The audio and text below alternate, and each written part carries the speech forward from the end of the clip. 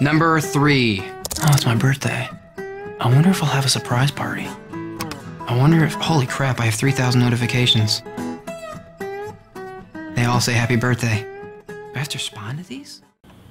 I made this for you!